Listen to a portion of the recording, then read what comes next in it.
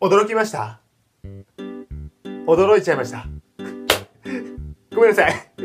ごめんなさい。すいません。えー、まあ、驚かせるつもりはあったんですが、えあったんですが、えー、まさかそんな驚くとは思いませんでした。ごめんなさい。もうご愛嬌ということで許してください。えー、申し訳ございません。えー、今日6月30日ということでね、もう1年の半分が過ぎようとしています。早いっすね早いですよ。1月1日から6月30までね。ほぼ毎日、動画上げてましたから、まあ、本当月日が流れるのは早いなと思います、えー、思いますけどね。また明日からね、え、7月1日ね。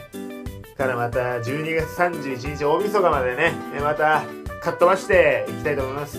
かっ飛ばしますよ大野放送協会は、えー、ぜひ皆さん僕についてきてください。僕もあなたたちについていきます。ありがとうございます。チャンネル登録してくれてる方、え日頃視聴してくれてる方、ね、えもしくはこれ初見の方、まあ、いろんな方がいらっしゃると思いますがね、えー、ぜひ初見の方はね、もうチャンネル登録、ね、チャンネル登録よろしくねですね、えー、お願いします。えー、日頃から見ていただいている方は、これからもよろしくお願いします。コメントも高評価もよろしくお願いします。低評価はダメだぜ。ね。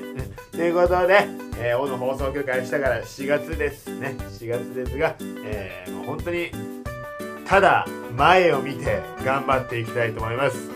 かっ飛ばしていきます。よろしくお願いします。では最後に一言。夢で会いましょう。